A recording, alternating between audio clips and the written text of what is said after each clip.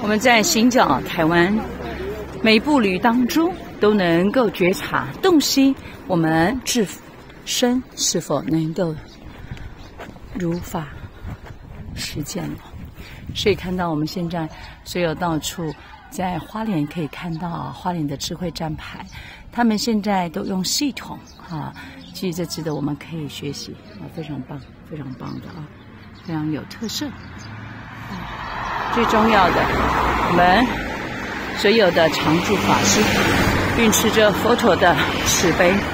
啊，一步一脚印的为我们啊，在花莲的所有居民都能够带来人间的好消息。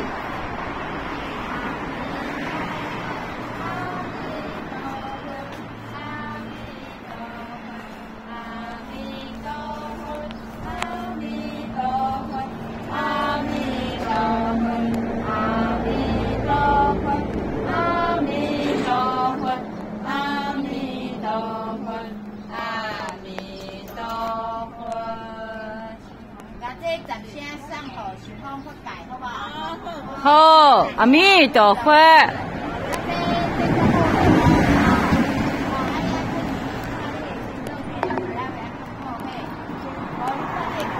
我们花莲的居民非常非常的善心，